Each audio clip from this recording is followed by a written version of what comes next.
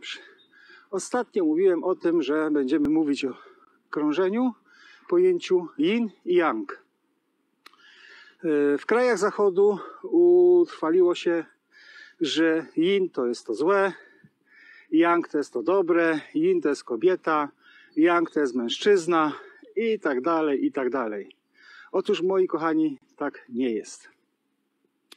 Yin i yang są to energie. Tak jak u nas energia potencjalna kinetyczna, tak w Chinach jest to energia yin i energia yang. Przy czym e, na wschodzie te energie mają o wiele, wiele głębsze znaczenie. To nie jest tak jak u nas, że to jest tylko energia e, siłowa. Tam ma również znaczenie przepływ, stosunek do świata, kierunek i tak dalej. A więc energia yang jest kojarzona z energią ruchu, tak jak energia kinetyczna. Ona mm, objawia się w ciele poprzez wyciągnięcie i jak gdybyśmy chcieli wypychać coś na zewnątrz. To jest energia yang. Ewentualnie jakiś ruch szybki, to jest energia yang. Energia yin to jest energia potencjalna. Ona korzysta z materii, nie z ruchu. Energia potencjalna przytrzymuje coś albo coś wciska w dół. Natomiast jest to energia związana z materią, inaczej mówiąc, z masą, a w, na zachodzie z odległością, z wysokością i też z masą. Więc tu jest yang, tu jest yin. Energia yin skierowana jest do wewnątrz, do środka, w dół. Energia yang na zewnątrz, bardziej z ruchem. Układ rąk troszeczkę to symbolizuje. Obojętnie, czy mamy ręce na dole, czy trzymamy rękę u góry, to zawsze tutaj jest ta energia wypychająca, energia yang. Jeżeli trzymamy dłoń skierowaną w górę, to wiadomo, że jest to przytrzymywanie czegoś. I tutaj mamy energię yin.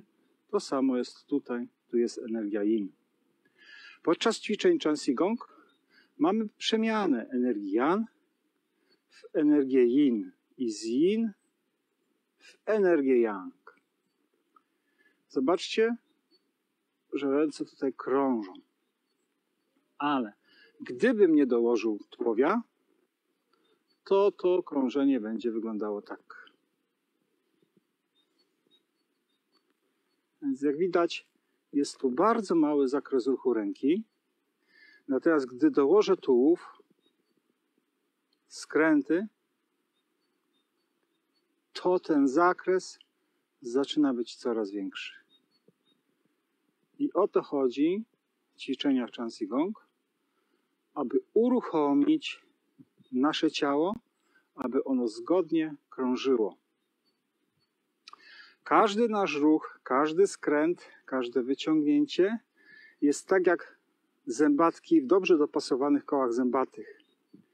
Jeżeli się wykręca na zewnątrz, dłoń również się wykręca na zewnątrz. Dalej schodzę w dół. Zobaczcie, co się dzieje tutaj. Tak jak jest skręt, dłoń opada. I zaczynam się odkręcać, i znowu się dłoń skręca. Do pewnego momentu, gdzie będzie maksimum in. Jak przekroczymy maksimum in, to znowu się zaczyna odkręcać, jest przemiana w kierunku yang. I tutaj mamy yang. Dalej delikatnie wykręcę i już schodzę w yin.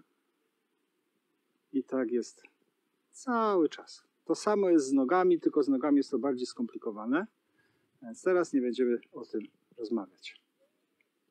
Ćwiczenia Chansi Gong, tak jak w tytule tam jest napisane, co to takiego jest? Jest, są to ćwiczenia, które polegają z nazwy na rozwijaniu jedwabnego kokonu. Nić jedwabna jest bardzo krucha. Bardzo łatwo ją można zerwać. Ale jeżeli mamy mniejszy naciąg, to ona się sklei, pozwija i wtedy też z tej nici nic nie będzie.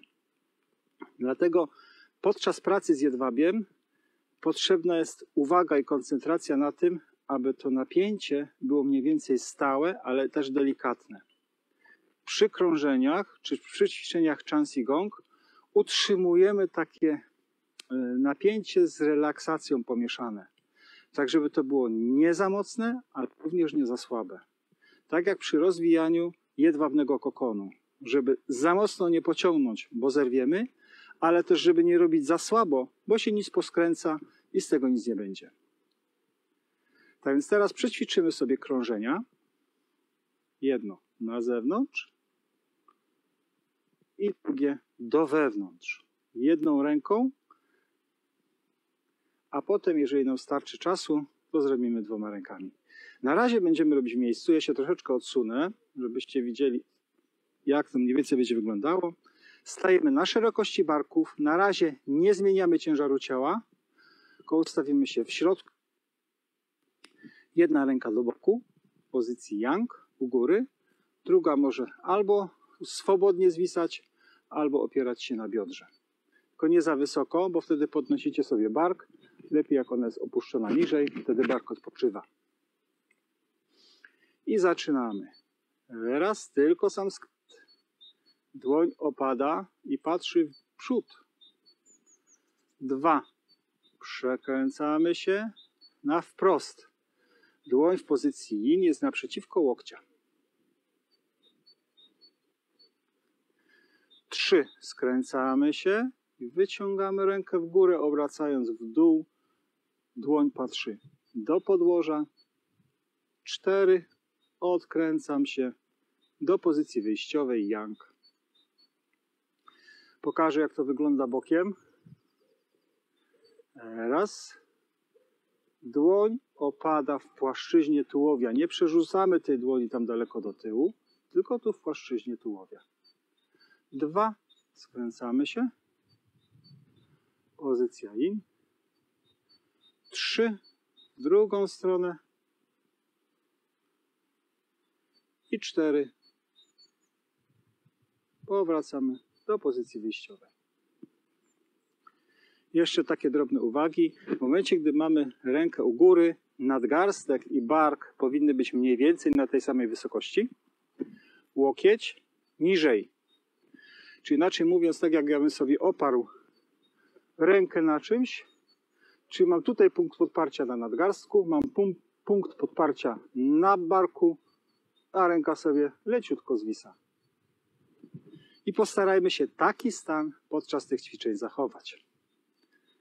Ustawiamy się jeszcze w pozycji yang i ćwiczymy. Raz, dwa, trzy, cztery. Raz, dwa, trzy, cztery. Raz, dwa, trzy, cztery. Ale powiem Wam, że wiosny już bardzo słychać. Raz, dwa, trzy, cztery. Raz, dwa,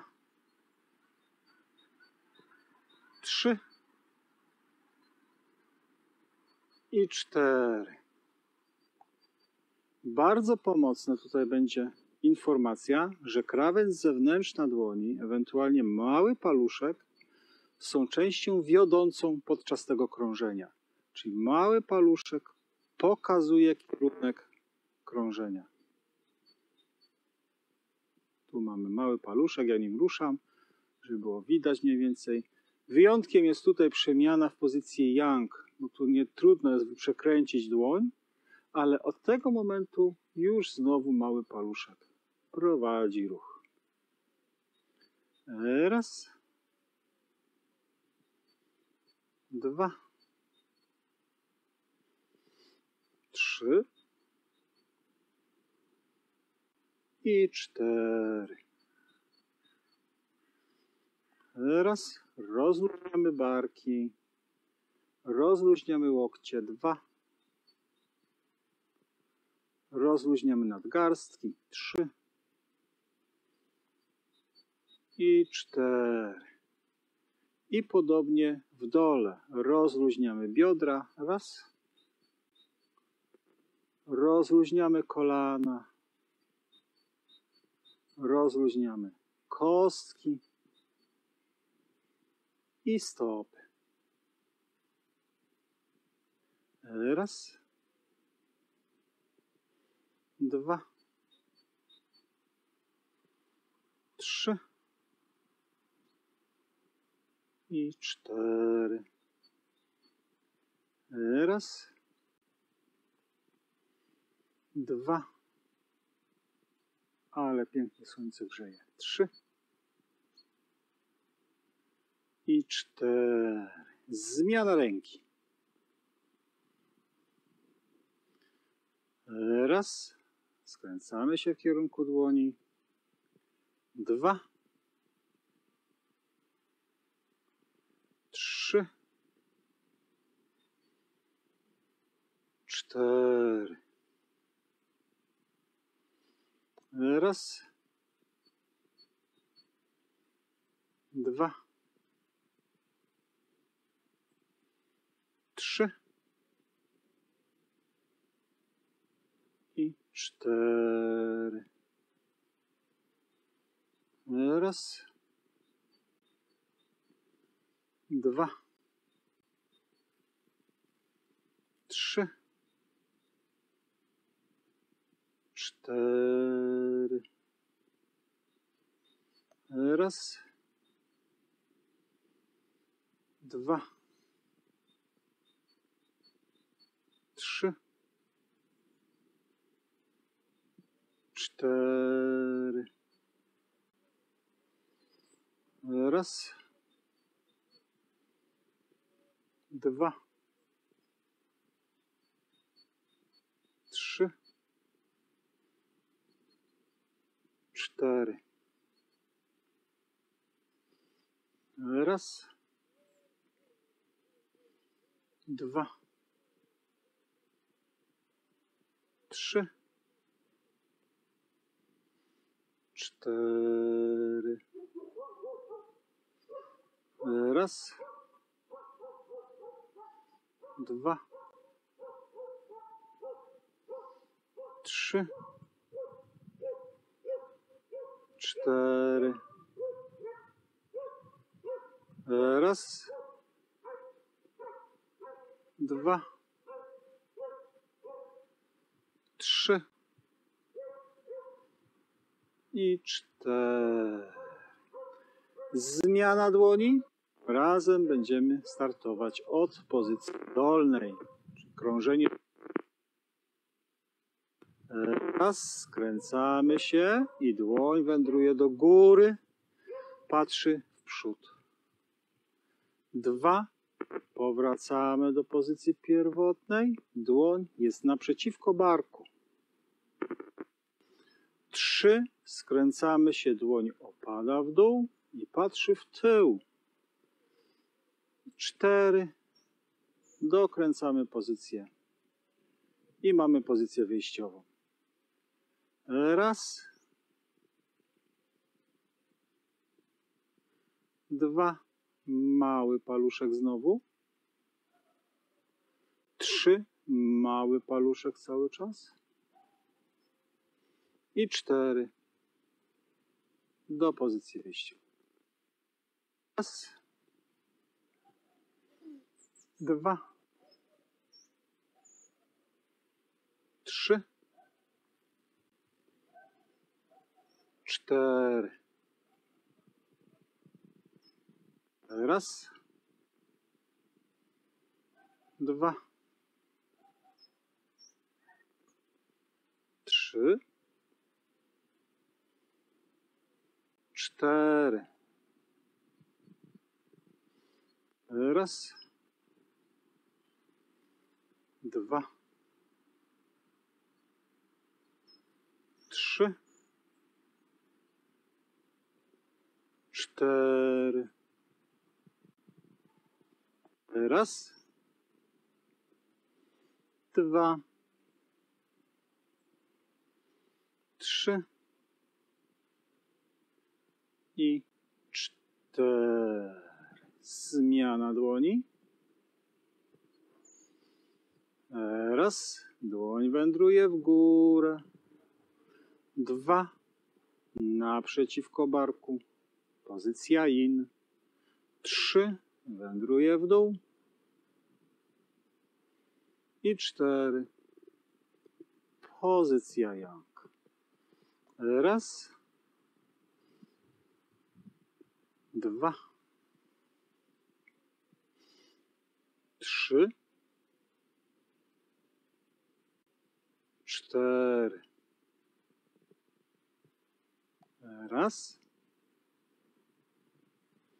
dwa, trzy, cztery. Raz, dwa,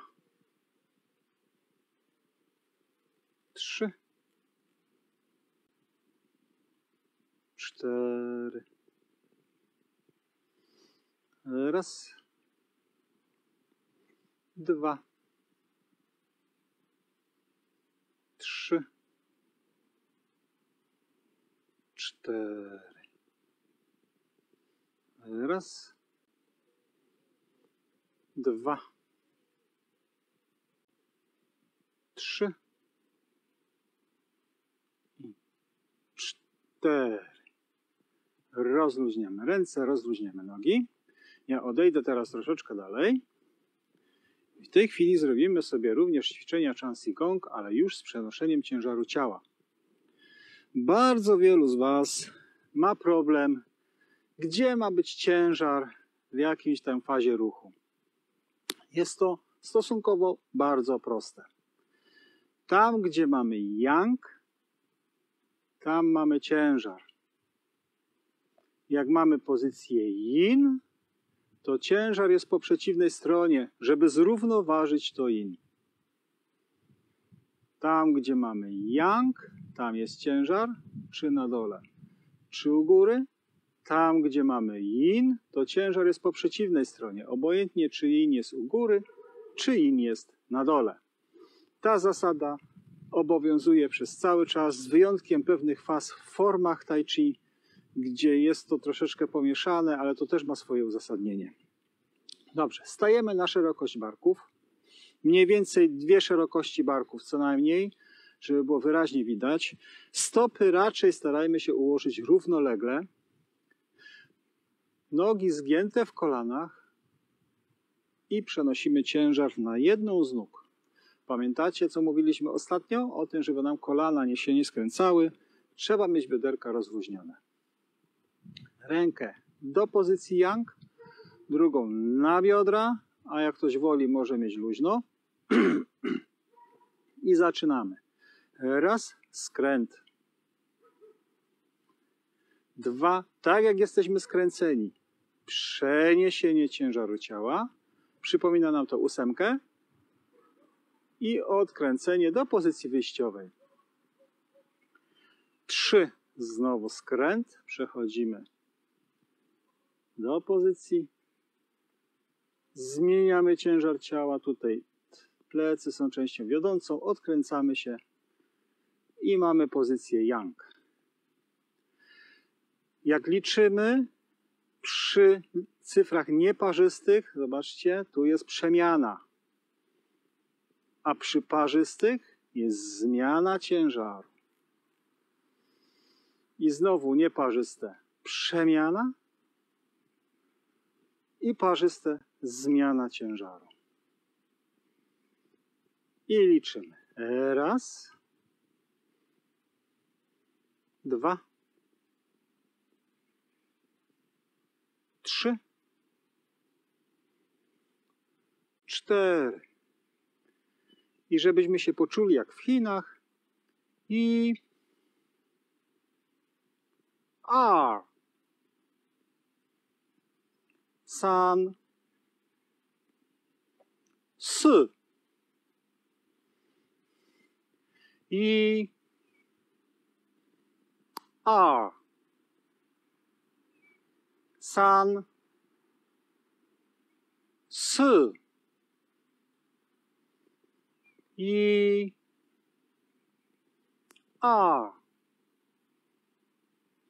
san su i